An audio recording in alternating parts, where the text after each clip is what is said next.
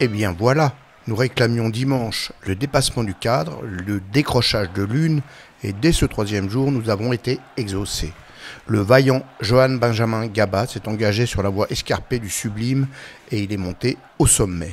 Du sublime, certains s'insurgent déjà et se font la remarque que le jeune Français n'a pas satellisé tout le monde et que ses combats du matin pour s'extraire de son quart s'étaient soldés par des victoires aux pénalités. À cela, il faut rappeler d'où vient le titulaire du jour, à commencer par le fait que 35e mondial avant ces Jeux, il n'aurait même pas été sélectionné s'il n'avait pas été français. On peut le dire, le parcours qu'il a réussi aujourd'hui et que nous allons vous raconter n'a pas d'équivalent dans notre histoire, sinon peut-être celui de Bertrand Damézin, choisi en 1992 pour aller aux Jeux de Barcelone, alors qu'il était peu de temps auparavant issu de la seconde division nationale et il s'était finalement emparé du bronze. Johan Benjamin Gaba a dû, lui, passer cette année par l'étape du championnat de France pour étayer une sélection internationale contestée. Quant au fait qu'il n'ait pas pu projeter tout le monde, c'est un petit peu normal quand on prend les meilleurs. Le numéro 1 le numéro 2 mondial et dès le premier tour un adversaire triple médaillé olympique en or en 2012 venu faire la passe de 4. Les jeux, c'est un autre niveau. En outre, les pénalités sont revenues au centre du dispositif et on a trop déploré l'incapacité à certaines époques de nos combattants à maîtriser ces enjeux tactiques pour en faire aujourd'hui le grief à Johan Benjamin Gaba. Il faut un peu parler de ces pénalités d'ailleurs. Les deux jours précédents, l'ambiance des jeux avait tout balayé et les combattants s'étaient moins appuyés sur l'arbitrage qui s'était lui-même fait discret. Aujourd'hui, l'homme en noir s'est remis au centre et malheureusement souvent pour le pire. Non pas qu'il soit mauvais en soi, on le sait, des hommes comme Mathieu Bataille ou l'arbitre de la finale des moins de 73 kilos aujourd'hui, l'espagnol Raúl Camacho, sont même excellents et perçoivent très bien le judo. Mais la conception actuelle est de suivre le règlement à la lettre, un règlement qui ne cesse, par des effets de généralisation ou d'accumulation de détails, de s'éloigner de la raison d'être originelle des pénalités, c'est-à-dire protéger l'intégrité physique quand elle est réellement menacée, et empêcher les gestes négatifs qui entravent l'expression du judo. Un règlement qui ne cesse de s'étoffer aussi dans l'idée contraire au bon sens d'avoir des arbitres qui n'auraient plus besoin de réfléchir. Sauf qu'au lieu d'aider à la dynamique du combat et à sa justice, la pénalité est aujourd'hui non seulement mal comprise, y compris des amateurs de judo, mais aussi intempestive, contraire à l'esprit du combat. De soutien au judo, l'arbitre est devenu obstacle à l'expression du judo, ce qui est tout de même un comble et un obstacle dont il faut absolument tenir compte pour ne pas perdre, ce qui incite tout le monde à développer l'habitude de s'appuyer sur les règles pour l'emporter. De quoi détruire l'esprit du judo et sa dimension spectaculaire. La Fédération internationale, qui se vante de promouvoir le judo comme un grand spectacle télévisuel, se trompe totalement sur ce point, s'évertuant à faire le contraire de ce qu'il faudrait et persévérant dans l'erreur, gâchant les belles histoires naissantes par son obsession de la règle, des histoires qui sont bien sûr toujours des histoires d'affrontement et de combattants, le précieux sel de notre culture commune. Aujourd'hui donc, les arbitres sont revenus, les combattants ont donc eu la tentation de passer par l'obtention de la disqualification adverse et les pénalités sont tombées. De nombreux combats importants se sont joués de cette façon, plus de 30% se sont finis par une disqualification sous les yeux du monde entier qui nous regarde sans comprendre et au grand déplaisir d'un public peu décidé à revenir vers l'ennui et l'agacement après deux jours de miracle. Sublime donc, le mot n'est pas trop fort pour le parcours de Johan Benjamin Gaba, aujourd'hui bondissant comme un fauve affamé prêt à se nourrir dès qu'on le lâcherait dans l'arène. Il réglait d'entrée le sort d'un géorgien mal réveillé, le monument Lacha Shavdatuashvili, triple médaillé olympique. Il y a encore peu de temps, notre représentant aurait rendu une partition courageuse mais brouillonne qui l'aurait conduit vers la sortie avec les honneurs. Ce n'était plus le même ce lundi. Il traversait le vieux guerrier Shabdatuashvili avec mobilité, précision sur les mains et sens de l'anticipation pour placer les attaques, les bonnes comme les nécessaires, au point de le laisser sur place. Une disqualification cruelle pour les Géorgiens, car elle traduisait exactement la façon dont la nouvelle génération prenait le pas sur l'ancienne. En finale de quart de tableau, le japonais Hashimoto a dû aussi avoir un peu ce sentiment en tâchant de le contenir sans y parvenir. Il succombait lui aussi à une pénalité pour lâchage de saisie, celle qui avait déjà injustement écarté la jeune Tara Baboulfat samedi de la finale. Une fausse bonne idée de la commission d'arbitrage qui a réussi à mettre fin sans grande raison avec cette règle à certains des duels les plus engagés et les plus passionnants de ces trois derniers jours. Johan Benjamin Gaba en demi-finale des Jeux Olympiques, ce n'était pas une succession d'exploits, mais encore un peu plus que cela. Dans cette demi-finale un peu imprévue face aux Moldaves, et bien que cet adversaire soit 13e mondial et auteur d'une belle série de victoires en tournoi, c'était désormais le jeune conquérant français qui avait la pression. Perdre contre cet Adil Osmanov après un tel démarrage, c'était impensable. Mais Johan Benjamin Gaba n'avait pas l'intention de redescendre à l'étage des combattants ordinaires. Il continuait à prendre les initiatives mobiles et dominateurs, s'appliquant à toujours se dégager de la grosse main gauche du Moldave, son point fort. Et à mi-combat, l'opportunité se présentait d'une impressionnante séquence au sol sur son renversement favori, qui consiste à faire levier sur le bras avec la jambe pour obliger l'adversaire à rouler sur le dos. Osmanov donnait tout ce qu'il avait pour se dégager et échappait de justesse au hippon, mais concédait le Wazari à la maîtrise étonnante de Gaba. Grillé par cet effort de titan, il n'était plus ensuite qu'un chiffon dans les mains du Français qui concluait, message tout à fait involontaire au dénigreur du matin, par un emplafonnage en règle sur un majestueux Sodé Tsurik Komigoshi. Johan Benjamin Gaba, le combattant courageux mais peu récompensé, était sorti de la chrysalide, il avait grandi pour devenir un nouvel avatar de lui-même, plus méchant et plus mortel. Il y a peu, il était membre des Forces spéciales, le surnom de la Dream Team des juniors français des années 2020-2022, presque tous médaillés mondiaux, sauf lui d'ailleurs, qui n'avait fini que cinquième. Mais cette fois, c'était lui. Il était en finale olympique. Une montée en puissance saluée par l'ancien leader de cette équipe jeune, Stéphane Frémont, que le patron de l'équipe de France masculine, Baptiste Leroy, avait judicieusement remis au service de la préparation des jeunes issus de cette matrice qu'il avait largement contribué à construire. Quand tu les confrontes à leur rêve et son projet, bah, c'était un jour euh, d'être champion olympique, le travail paie. Le travail, mais du coup, quand ça vient d'eux, en fait, tu vois que tu les confrontes à à ce qu'ils veulent et à ce qu'ils mettent en place. Et Johan, c'était, bah, il y avait souvent du déséquilibre là. Et là, cette année, bah, Baptiste, en me faisant revenir, ça m'a permis euh, de, recaler euh, tous les trucs. Et puis, bah, du coup, euh, ça s'est organisé. Tu vois, avec la diète, il, gérait mieux ses régimes. Il mangeait pas les jours de compète. Il a mangé. Tout s'est un peu organisé. Et puis bah, du coup, ça, ça va encore valoriser bah, ce qu'il a mis en place. Et maintenant, bah, il a des titres à aller conquérir parce que là, il fait, fait deuxième, il fait une super journée. Il vaut mieux que ça. Il fallait bien cette transformation 2.0 pour assumer une finale olympique contre le triple champion d'Europe et champion du monde en titre, l'invincible Kataman venu d'Azerbaïdjan, Hidayat Eidarov. Un boulimique de victoire aussi fort dans ses attaques par en dessous que dans ses enchaînements au sol et monstre de volonté et de courage des corps plantés. Après la victoire pour le bronze des deux victimes de Gaba, le japonais Hashimoto et le moldave Osmanov, signe qu'ils étaient au meilleur de leur forme ce jour-là, l'ultime combat des moins de 73 kilos pouvait s'engager. Le Français s'appliquait de toute sa volonté affermie à ne pas laisser l'Azerbaïdjanais prendre sa saisie préférentielle, celle qui lui permet d'enrouler tout le monde comme un cobra royal qui accrochait dans une proie. Déterminé à ne pas subir, Johan Benjamin lançait un haut sotogari d'une main dès la première prise de garde, obligeant Heidarov à se retourner en urgence avant de l'attaquer durement au sol. Le public en avait frémi d'excitation. Les quatre premières minutes allaient couler comme de l'eau, consacrées à un travail constant de contrôle de la manche gauche du champion azerbaïdjanais qui cherchait à se dégager et à surprendre, mais sans succès.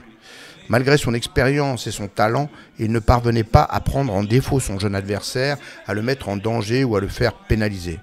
De son côté, toute l'énergie de Gaba passait dans ce strict contrôle du Kumikata et à garder sa propre mobilité. Ces grands Ouchigari ne surprenaient pas.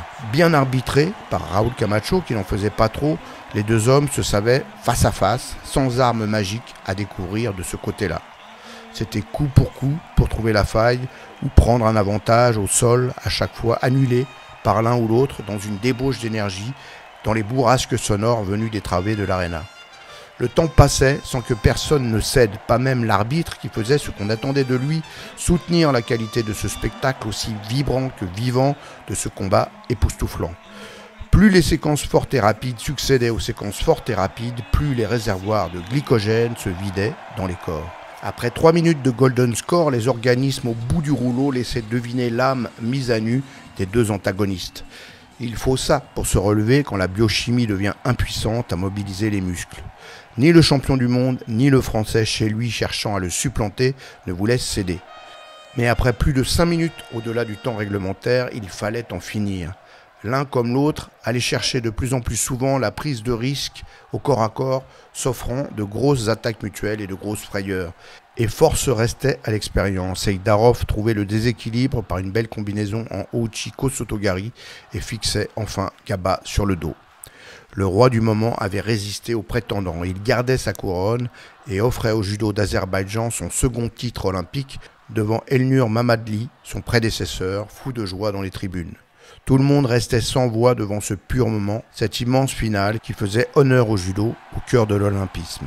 À commencer par l'entraîneur Guillaume Faure, qui dressait déjà, avec le dernier filet sonore qui lui restait, le bilan d'une telle épopée. Dès le début de la journée, euh, dans de bonnes intentions, avec euh, l'envie d'avancer, avec euh, des, obstacles qui étaient tous franchissables à ses yeux, étant donné que c'est des gens qu'il avait battus hein, jusqu'au moins en demi-finale. Et puis derrière, on n'est pas loin de l'exploit d'aller chercher, chercher, le titre olympique, d'aller chercher quelque chose de magique. C'était le mot d'ordre en fait, c'était que chaque combat euh, devait être une finale et puis on, allait chercher une marche supplémentaire à chaque fois et puis on s'est jamais rien interdit toute la journée quoi. C'était voilà, on va le faire, on va le faire et puis avec des moments, on alternait les moments sérieux, les moments de détente. Nous on était, voilà, on était dans notre bulle et puis, puis, puis ça a avancé, ça a marché quoi. Bah, la finale, j'ai, enfin, pas eu grand chose techniquement à lui dire parce qu'on l'a préparé il y a bien longtemps ce combat. Il a pris en stage à Idarov, il a pris, il, le connaissait, il, y avait une, ligne directrice à garder. Euh, la gestion, euh, la gestion du bras droit des notamment. Après, il avait euh, une carte à jouer techniquement là-dessus. Mais après, voilà, ça a été de la régulation, qu'il soit lui frais psychologiquement, avec l'envie d'y aller, devant son public. Donc euh, voilà, ça s'est fait euh, assez naturellement dans la continuité des autres combats. Il n'a pas perdu un titre, il a gagné une médaille d'argent, c'est ce que je lui disais tout à l'heure. Et voilà, c'est quelque chose euh, bah, assez extraordinaire, une médaille olympique de toute façon, quelle que soit la couleur. L'or est magique, mais l'argent est parfait. quoi. Donc Johan, il a 23 ans. il y a un an, il n'était pas médaillé au championnat de France. Maintenant, il est champion de France, médaille européen, vice-champion olympique. Il a réussi un, super tour de piste et euh, maintenant il a tout l'avenir devant lui. Euh, vu le gars que c'est, euh, la manière dont il, gère son projet, sa manière de s'entraîner et tous les à côté, je pense qu'il c'est pas fini. vous allez encore entendre parler de lui. Au France, il y a un déclic parce que bah, il se rend compte que bah, déjà, même si quelque part ce n'est que les France, ça fait du bien de gagner, il se rend compte qu'il mérite son statut de numéro un français. À partir de là, ça le libère. Il part en, tournoi. Il gagne plus de combats que d'habitude. Il arrive aux Europes. On sent qu'il a progressé. Il fait une médaille. Pareil, il refranchit un plafond de verre, etc. etc. Maintenant, je, pense que Johan, euh, il l'a démontré aujourd'hui, il s'interdit plus rien. Voilà. Et, puis, pour aller encore plus loin, j'espère que ça va décomplexer tout, tout le reste de l'équipe. Parce qu'on leur a bien dit, vous êtes tous capables aujourd'hui de faire une médaille. Vous avez une équipe de dingue vous êtes tous prêts, vous êtes des super mecs, vous êtes sérieux. On vous aime en plus, parce que c'est des, vraiment, vraiment des, super gars. Et puis derrière, voilà, tout le monde est capable d'aller ramener quelque chose. Et que retenait le héros du jour? La déception du deuxième ou la conscience joyeuse d'être allé vraiment au bout de lui-même? J'étais dans ma journée, je savais ce que j'avais à faire. Et puis le public, comme je vous ai dit, était tellement incroyable. Franchement, euh, je ne pouvais que montrer la meilleure image de moi-même quand on se fait pousser comme ça, franchement, c'est limite si on ne ressent pas la fatigue. On se dit qu'on n'a pas le droit de craquer et je pense que ça donne énormément de force. Personne ne croyait en moi, je sais. Je sais, euh, aux Europes, euh, j'ai déjà commencé, j'ai fait trois aux Europes cette année. Moi j'ai cru, personne ne pensait que j'allais faire trois aux Europes déjà. Et là, au jeu, au début, ça contestait ma sélection, etc. Et, euh, euh, moi, j'ai toujours fait moi, j'ai dit, je savais que je serais présent le jour J et je l'étais et je, suis très content de ça. Si j'étais là, c'est que j'y croyais. Si, si j'y croyais pas, je n'aurais pas fait, fait médaille aujourd'hui. Le, minimum, c'est d'y croire. Mais ça m'a tellement nourri. Et, je l'avais dit que même euh, avant les championnats de France aux Europes, quand je perds, je, sais que j'ai le niveau de faire beaucoup mieux. Malheureusement, je ne le fais pas. Mais c'est dans la tête et je pense que le, fait que les gens que les gens ne croient pas en moi, ça m'a donné aussi énormément de force parce que j'ai la tête dure et j'ai le mental et je me suis dit bah ok ils parlent, ben, je vais leur prouver qu'ils ont tort. Et mes adversaires en général ils savent que je suis fort parce que je les prends en stage. Et Darov je l'ai pris au stage en Croatie, on a fait un stage en Croatie, je l'ai pris peut-être une dizaine de fois. Donc il sait que, enfin, il se disait pas qu'il prenait un peintre quoi. Je voyais qu'il était fatigué et pourtant franchement il a énormément de cardio ce garçon. Et pourtant, je me relevais et j'avais l'impression que j'étais plus en forme que lui. Et l'adversaire, quand il est, fatigué, qu'il a les mains sur les genoux qu'il voit que nous, on se relève vite, il se dit Mais comment je vais faire pour, euh, pour y arriver quoi. Et c'était un peu ça le, principe euh, de se relever vite. Ouais, je pense c'est un petit manque de lucidité. Et, euh, en fait, j'étais à Dushido. On était tous les deux à Dushido, mais son début d'attaque, il était plus élevé que le mien. Il arrivait à attaquer avant moi à chaque fois. Et bah, je préférais m'engager, tout donner, que, que bah, je suis parti sur une phase de corps à corps où je me suis dit Bon, là, j'y vais. Et soit c'est lui, soit c'est moi, plutôt que perdre 3 Shido. Quoi. Perdre 3 Shido, c'est un peu dommage, je trouve. Donc j'ai essayé, j'ai tenté le tout pour le tout et ça a basculé en sa faveur. Tu l'as vu, douter? Franchement, je l'ai vu douter, je l'ai vu douter, je l'ai vu douter. En plus, euh, je pense que j'avais moins de pression que lui parce que le mec est champion du monde. Euh, il se dit, euh, je peux pas perdre alors que j'ai déjà gagné le championnat du monde. Il est presque invaincu depuis un an, je pense. Donc je pense qu'il avait plus de pression que moi. Donc ouais, je l'ai vu douter. Mais euh, il a quand même gagné. Bah, félicitations à lui, c'est un, grand champion. Il m'a dit euh, que j'étais incroyable, euh, que genre, je m'étais battu comme un lion et tout. Et bah, en gros, il m'a félicité pour ma journée. C'est injuste pour Sarah Léonie Sizik. Sa formidable journée est un peu éclipsée par la naissance d'un nouveau grand moins de 73 kilos français dans le sillage d'Hugo Legrand et Christophe Gagliano en bronze à Londres en 2012 et Atlanta en 1996 de Marc Alexandre, champion olympique en moins de 71 kg à Séoul en 1988. Sarah Léonie Sizik. On la savait sortant d'une période de convalescence, elle n'était pas citée par les grands médias pour une médaille potentielle, elle qui en avait gagné une à Tokyo trois ans plus tôt. Grosse erreur. Sarah Léonie Sizik aime les jeux et il semble le lui rendre. Plus agressive, plus dangereuse dans ses coups de volant inimitables, plus forte que jamais, elle réduisait en poussière toute opposition humiliant même la japonaise Funakubo, pourtant troisième elle aussi à la fin de la journée sur un incroyable Dehachibarai dès la première prise de garde. Face à la grande Krista Deguchi, la canadienne favorite pour le titre, elle montrait toute sa vitalité qui faisait par contraste ressortir le fait que la prestigieuse de Nagano, ville où elle est née, elle qui s'entraîne en ce moment à Tokyo, était usée jusqu'à la corde par son parcours de sélection. Épuisée par les coups de boutoir d'une combattante qu'elle a l'habitude de dominer, elle perdait pied et aurait aussi perdu le combat si l'arbitre ne s'était pas avisé que dans son désir de déplier le bras de son adversaire à sa merci au sol, la jeune Sizik avait glissé deux phalanges dans une manche adverse. C'est interdit et c'est Shido. Et comme les arbitres ont la mauvaise habitude de monter rapidement à deux pénalités de part et d'autre, c'était le Shido de trop. Encore une disqualification aberrante pour le public et dans l'esprit, mais assumée par l'entraîneur Van den End. Le haut niveau, ça ne rigole pas. Elle, a gagné en régularité, donc euh, ça c'est vrai sur l'Olympiade. Après, ben, manque, euh, voilà, aujourd'hui elle fait une boulette. C'est-à-dire mettre les doigts dans le kimono, euh, on leur dit, ils apprennent ça quand ils sont gosses. Hein.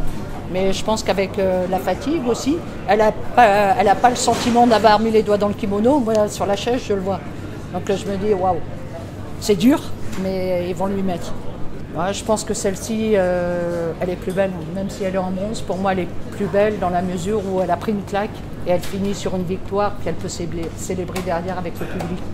Avec le public, ses proches. Donc, euh, malgré la déception, elle l'aura peut-être euh, sur le moment, mais voilà, elle va pouvoir savourer une belle médaille de bronze. Il n'y avait pas de suspense pour la place de troisième que Sizik ponctuait magistralement en découpant, comme elle en a l'habitude, la pourtant très solide géorgienne Ether Liparteliani. Une seconde médaille olympique, qui n'était pas l'or qu'elle aurait mérité, comme c'était déjà le cas à Tokyo, mais qu'elle avait choisi d'aller chercher tout de même, un processus qui n'était pas aussi limpide que l'insolente facilité dont elle avait pourtant paru faire preuve. C'est vrai que je venais chercher l'or, euh, mais avec toutes les émotions vraiment que, par lesquelles je suis passée aujourd'hui, ça, ça a bien démarré, j'étais vraiment bien dans, ma compète. Euh, je bats la japonaise en plus en quelques secondes, donc euh, vraiment j'étais, très confiante. Quand je suis arrivée sur le match avec Christa de Gucci, j'ai senti que vraiment ce match allait être très très long, je le sentais parce que j'arrivais pas à accélérer, mais elle non plus. Enfin, c'était vraiment. je savais que c'était long et dur. je suis, je suis dégoûtée que ça se finisse comme ça. Euh, parce que, ouais, comme je disais, c'était. Je sentais qu'en fait ça pouvait se faire se finir autrement et je suis dégoûtée que ça se finisse au Shido, mais malheureusement c'est un sport euh, arbitrage, donc euh, on a, on n'a pas toujours, enfin on a toujours le choix, mais je veux dire c'est des fois une erreur et, c'est fini. Mais je suis surtout contente d'avoir réussi à me remobiliser.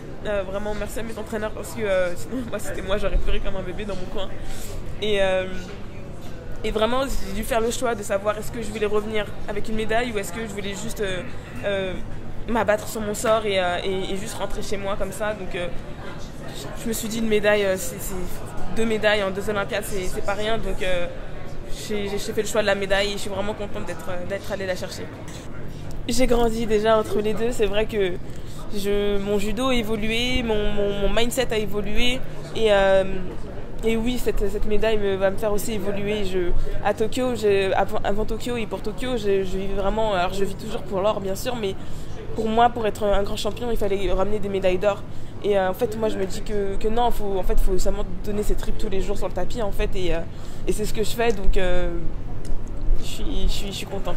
C'est déjà très difficile aussi d'être toujours régulière, de vraiment, malgré ça, de toujours d'avoir cette, cette rage de vaincre, d'avoir toujours cette envie. Et je me dis que même si j'ai pas de médaille d'or, euh, autant de médailles d'or à mon actif que je le voudrais, bah, je suis quand même très fière de ce que je fais quand même au quotidien. Et, euh, et là, vraiment, je me remercie de la plus belle des manières. Donc, euh, je suis contente. J'ai du mal à réaliser. Depuis tout à l'heure, je la regarde et je me dis, wow, enfin, je, je, rêve pas, quoi. Elle est vraiment là. Et c'est vrai que c'est compliqué de quand on attend pendant longtemps une, une échéance et que enfin ça arrive quelques minutes avant de, même des fois quelques heures, je pense même peut-être quelques jours pour me rendre compte vraiment de, de ce que je viens de faire. Et, et je me dis, je viens d'aller chercher une deuxième médaille olympique en individuel. Enfin, je, même si je, sais que j'en suis capable, c'est vrai que quand ça arrive, c'est autre chose. Donc là, vraiment, je suis hyper heureuse. La grande Deguchi, quasiment en panne sèche, faisait illusion pour vaincre aux pénalités une créature enfantée par le nouveau modèle d'arbitrage, la coréenne ou Mimi. Aussi usante que le brésilien Lima chez les garçons, cette vaillante est constamment à l'attaque à plat ventre avec une main sur le judoki adverse et aucune intention de projeter réellement. La règle telle qu'elle est écrite lui permet de le faire et donc d'annuler toute possibilité de judo.